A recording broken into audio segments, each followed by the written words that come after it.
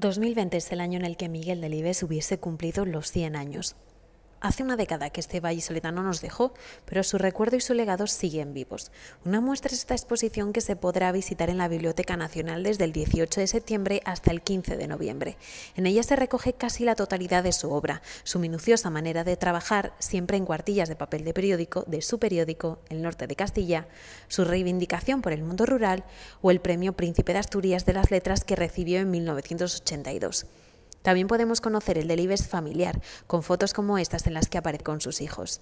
El presidente de la Junta de Castilla y León y sus majestades los reyes de España han sido los encargados de inaugurarla, acompañados de otras autoridades y de los descendientes del escritor. Tras su paso por Madrid, esta exposición podrá verse en la Sala Museo de la Pasión en su ciudad, Valladolid.